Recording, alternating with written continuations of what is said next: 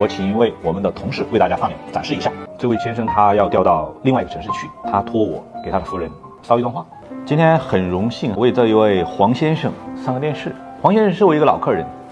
而且黄先生是我的另外一个老客人介绍的。然后呢，这一副眼镜呢是黄先生为他的夫人在我们这儿定制的一副眼镜，可能是他觉得在我们这儿买眼镜比较放心啊，找过我们买了，然后呢以身来测试，哎，我们不错，然后再为他的夫人订购了一只眼镜，所以呢就出现了什么？出现了人传人的情况，非常感谢。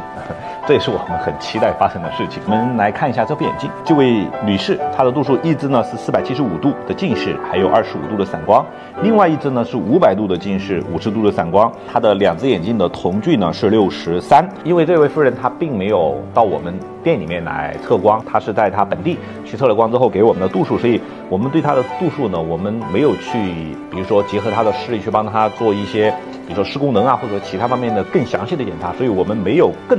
好的方案给到这一位女士，只能根据她的度数推荐了一个尼康的双飞镜片。这副眼镜呢是在我们这儿定制的哈，里面有刻字啊。一会儿我给大家看一下哈。这副眼镜的型号呢是五八零五，是一个小圆框，是 TT 今年啊去年的二三年出的一个 TT 款的新出的板材。之前我有详细的去对比过 TT 五五系列和五八系列它们之间的重量。大小以及说它度数适配的这么一个对比，大家如果有兴趣，可以去考古一下以前的视频。这副眼镜呢，我们可以看到它的框很小，它的框的直径是四十四，中梁呢是二十四，相当于是二点五的移心量，其实还好了。因为它这副眼镜，你们可以看到这个 TT 系列的边框，这个板材圈特别宽，所以很适合做高度数。虽然它的价格是比普通的 TT 的那种纯钛丝版本的要稍微贵个几百块钱，但是呢。我觉得是物有所值，而且加上了这个板材内圈的质感，一下就跃升了这种层级的感觉。如果您喜欢 Rim 系列的那种轻薄的感觉，但是又因为度数的原因没有办法配到，那么 TT 这种带板材内圈的就是一个很好的选择。因为这副眼镜呢是一位女士的，我请一位我们的同事为大家上脸展示一下。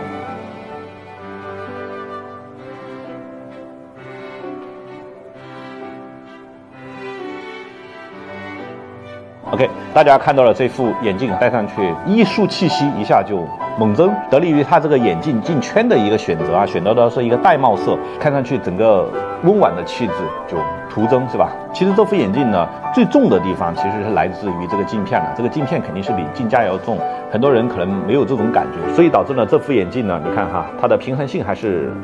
不错的，后面是金属的，然后整个戴上去，GT 系列的佩戴感也是 Limber 所有的系列里面，我觉得可以排到前二三的系列的舒适度哈，因为它这个铰链的设计也是很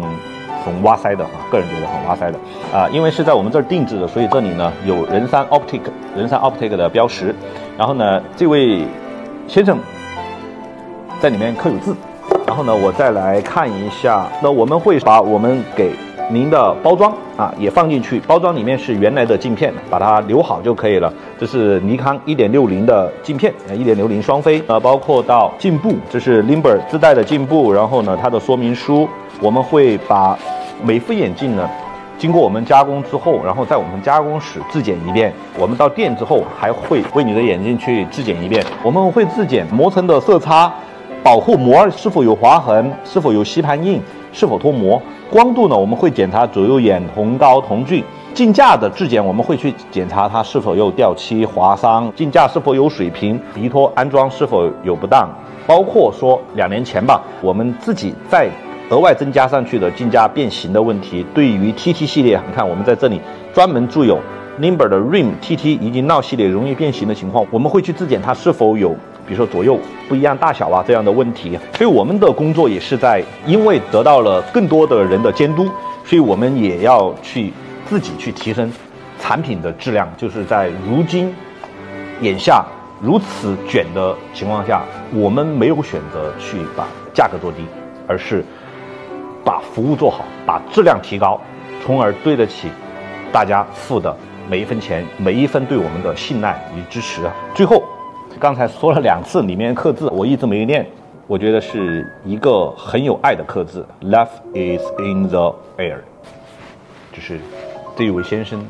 对这一位女士的爱意。然后呢，在我要拍视频的时候，这位先生又给我发了一段话过来，他让我托我